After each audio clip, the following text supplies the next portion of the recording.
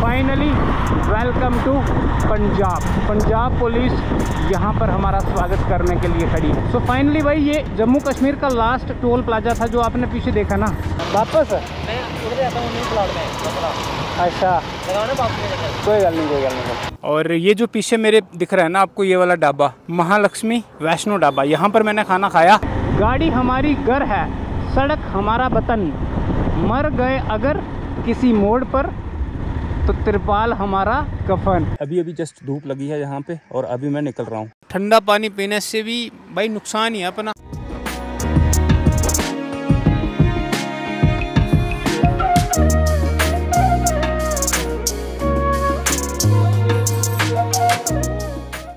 नमस्कार, आदाब सत श्रीकाल और चरण वंदना दोस्तों। दोस्तों, क्या हालचाल? मैं बिल्कुल बढ़िया और उम्मीद करता हूँ कि आप सब भी बढ़िया होंगे और बढ़िया ही होना चाहिए। तो दोस्तों, मेरा नाम है चरणजीत सिंह, मैं हूँ जम्मू कश्मीर के डिस्ट्रिक्ट उधमपुर के ब्लॉक मोंगरी से और मेरे गाँव का नाम है पंजर। दोस्तों, जैसे कि मैंने कुछ दिन पहले मैंशन किया था कि मैं 18 तारीख को अपनी बाइक लेके केदारनाथ के लिए निकलूँगा, लेकिन कुछ काम होने की वजह से मैं एक दो दिन जो है वो डिले कर दिया और आज है 20 मई और आज मैं बाइक लेके केदारनाथ के लिए निकल रहा हूँ और वो भी पंचारी से। तो चलो फिर करते हैं इस ट्रिप की शुरुआत। लेके बोले बाबा का नाम, जय हो बोले बाबा की।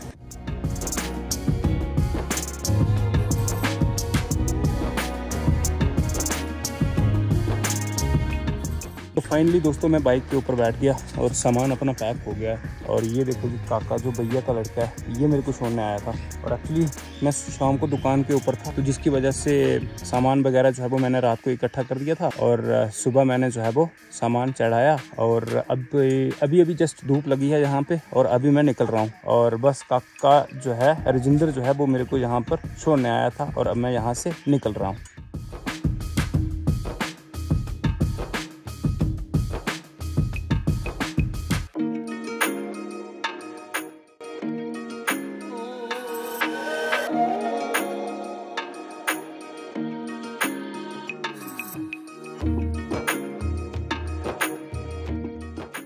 सो फाइनली दोस्तों, मैं पहुँच गया मानसर में। ये आ गया जी सामने मानसर का टाउन और यहाँ पर लगी है अपनी बाइक और हवा चल रही है भाई। सुबह सुबह इतनी फास्ट और मैंने सुबह सुबह डिस्टेंस कर दिया जी कवर यहाँ से कैंतकली है 19 किलोमीटर और कैंतकली से मेरा घर जो है वो 8 किलोमीटर। तो 19 और 8 हो गए 27 और सुबह सुबह मैंने 27 किलोमीटर का डिस्टेंस कवर कर लिया है। ले, इसको मैंने मतलब डेढ़ घंटे में कवर किया होगा, क्योंकि मैं बड़ा धीरे धीरे आया।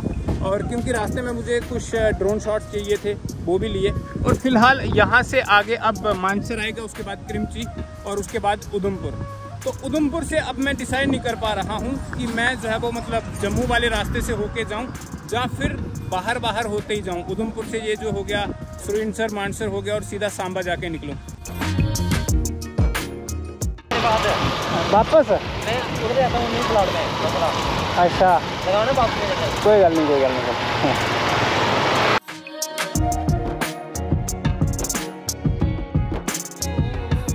फाइनली भाइयों मैं पहुँचा हूँ विजयपुर में और एक्चुअली यार उधमपुर से आगे निकलते निकलते उसके बाद फिर मैंने जो है वो वीडियो नहीं बनाई। वो इसलिए नहीं बनाई क्योंकि भाई मेरी जो गोप्रो की बैटरी थी वो वो भी डाउन हो गई और साथ में जो दोमेल है ना कटरा वाला वहाँ से लेके विजयपुर तक भाई कंस्ट्रक्शन का काम चल रहा है। और रोड इतना टूटा है ना मतलब बना रहे हैं ना उसको तो जाम बहुत और साथ में इतनी मिट्टी है ना, बता नहीं सकता आपको। हालाँकि दोपहर के बज रहे हैं बारह और अभी भाई यहाँ पे पहुँचा हूँ मैं, विजयपुर में। और अभी वहाँ पे बाइक लगाई है बाहर और अभी भाई यहाँ पे खाना खा रहा हूँ ब्रेकफास्ट प्लस लस्सी पी रहा हूँ। तो भाई कंडीशन यही है कि भाई आधे घंटे के लिए मुझे यहाँ पे रुकना है और उसके बाद यहाँ से जाना है मुझे लखनपुर। और लखनपुर में सोचा है मैंने कि वहाँ के जो फ़ेमस पल्ले ले आना, वो खा के फिर मैं वहाँ से निकलूँगा। फ़िलहाल पंद्रह मिनट के लिए यहाँ पर रेस्ट और ब्रंच कर रहा हूँ, क्योंकि ब्रेकफास्ट भी नहीं किया और लंच का टाइम भी हो गया।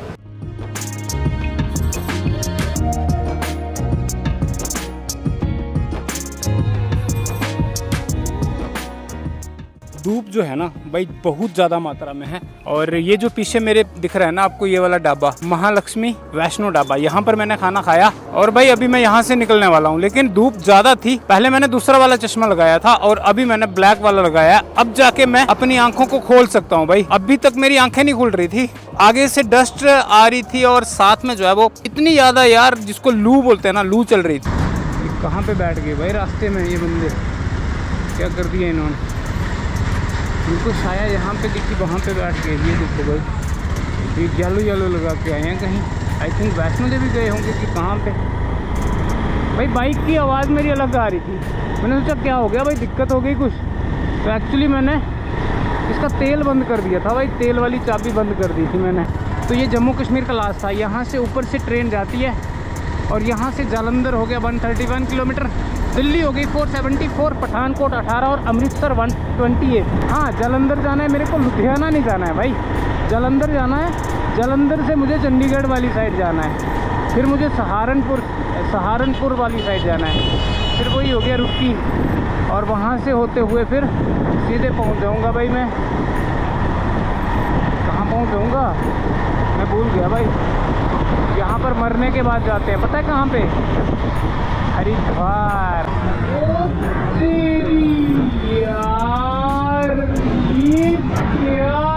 भाई यार, इतनी ज़बरदस्त चीज़ थी ना पीछे भाई। मतलब एक पेड़ के ऊपर कम से कम 20 20 वो बनाए थे भाई। घोंसले बनाए थे इन पक्षियों ने स्पेशल और हर एक पक्षी एक एक घोंसले में बैठा था। भैया, रास्ते में मिल रहा है, पानी एक जगह पे।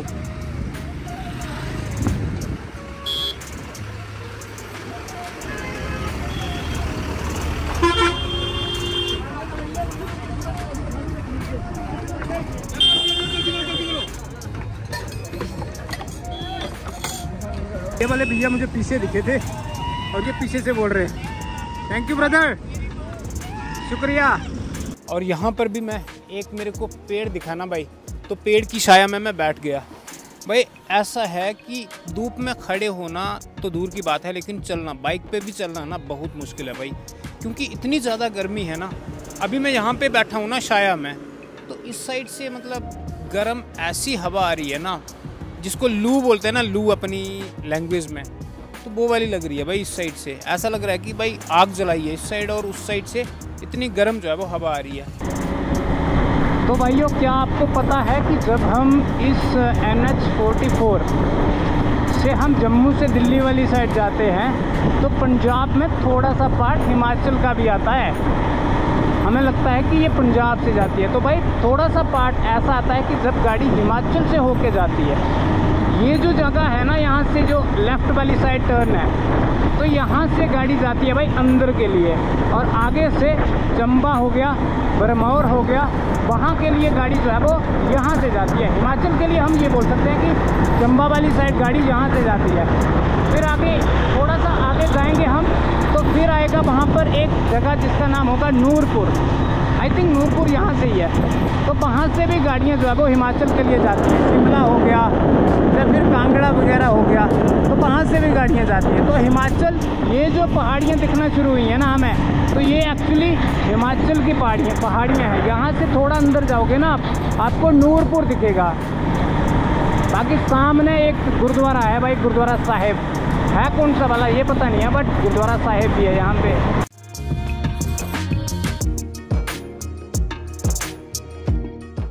ये भाई शिव जी की मूर्ति है, यहाँ पर एक मंदिर है भाई, विशाल मंदिर है, बहुत बड़ा। है कौन सा वाला, मुझे नहीं पता। तो भाइयों फाइनली मैं पहुँच गया भाई, एक रूम में, और पूरी कहानी बताता हूँ कि क्या हुआ मेरे साथ। एक्चुअली कुछ गलत नहीं हुआ। एक्चुअली मैंने सोचा था कि मैं आज कहीं पे नहीं रुकूँगा सीधा जो है वो मैं आ, क्या बोलते हैं उसको ऋषिकेश या फिर हरिद्वार जाके रुकूँगा। जब मैं चंडीगढ़ में पहुँचा तो भाई चंडीगढ़ भी जम्मू से बहुत दूर है भाई। चार साढ़े चार सौ किलोमीटर का डिस्टेंस मैं देख रहा था। मैंने उसको रीसेट मारा था बाइक को और आज अभी देख रहा था मैं साढ़े चार सौ किलोमीटर जो है वो कवर कर दिया मैंने आज का। तो मैंने यही सोचा था कि मैं आज सीधे जो है वो हरिद्वार या फिर ऋषिकेश में जाके जो है वो रुकूँगा। फ़िलहाल भाई, यहाँ पर मैं पहुँचा चंडीगढ़ का एक यहाँ पर एक बाईपास था। तो यहाँ पर मेरे को एक अंकल दिखे। उन्होंने ऐसे बातचीत हो रही थी उनके साथ तो उन्होंने मेरे को बोल दिया कि, एक काम करो बेटा, आप रात को मत जाओ। आप रात को जो है वो यहाँ पे रुक लो, कहीं पे भी रुक लो, रात को चलना ठीक नहीं होता। तो मैंने बोला कि, नहीं अंकल जी, रात को जो है वो धूप कम है, गर्मी कम है सर्दी है तो मैं चला जाऊँगा। मैं उनसे तो आ गया, लेकिन 10 किलोमीटर 8-10 किलोमीटर थोड़ा आगे आया तो फिर यार मेरे माइंड में ये चीज़ें दोबारा से स्ट्राइक करने लगी कि यार अंकल ने ये चीज़ बोली है तो शायद कुछ सोच समझ के बोली होंगी। फिर मैंने सोचा कि यार बिल्कुल सही बोला अंकल ने और मैं जो है वो स्टे कर लेता हूँ। तो भाई, मैं शुरू हो गया रोम देखना। मेरे को रोम नहीं दिखे भाई यहाँ पर। आसपास तो फिर मेरे को एक और भैया दिखे उन्होंने बोला कि यहाँ पर आस यहाँ पर पास में ही एक गुरुद्वारा साहिब हैं। गुरुद्वारा साहिब का मैं नाम भूल गया। तो वहाँ पे जाओ आप, वहाँ पे आपको रूम मिल जाएगा। तो वहाँ पे आया तो वहाँ पे भी लास्ट रूम था। वो मेरे से आगे एक भैया आए और उनको मिल गया। और उसके बाद मेरे को, हालाँकि मेरी किस्मत ठीक थी तो मेरे को हाल जो है वो मिल गया। तो फ़िलहाल भाई, आज का ठिकाना अपना ये है कि ये पड़े हैं भाई बैग शैग और मैट्रेस अपना हालाँकि यहाँ पर गद्दे वगैरह पड़े हैं। और ये आ गया जी दूसरा वाला बैग। और ये मैंने भाई बाइक की ये अपनी बैटरी जो है वो उसको चार्ज करने के लिए लगा दिया एक्चुअली बाइक की बैटरी जो है, इसको मैनुअल चार्ज करना पड़ता है। क्योंकि मुझे ये पता नहीं चल रहा है कि उसका चार्जर ख़राब है या फिर पीछे जो अडेप्टर होते हैं उसके वो ख़राब हैं। जब मैं एजेंसी में जाता हूँ एजेंसी वालों को पता ही नहीं है भाई कुछ भी। मैंने तीन चार बार उनको बोला कि भाई इसको चेंज करो। बैटरी मैंने नई डलवाई है। बोलते, नहीं बैटरी ख़राब है यार बैटरी तो मैंने नई डलवाई है। चलो, इस टॉपिक को छोड़ते हैं। फ़िलहाल भाई, रात का अपना ठिकाना यहाँ पर है और मेरे को कुछ नहीं चाहिए। बस मेरे को लाइट चाहिए इलेक्ट्रिसिटी चाहिए और वो मेरे को मिल गई। ये सबसे बड़ी सेटिस्फेक्शन है। बाकी ठीक है भाई, पंखा है यहाँ पर, लेकिन गर्मी बहुत ज़्यादा है।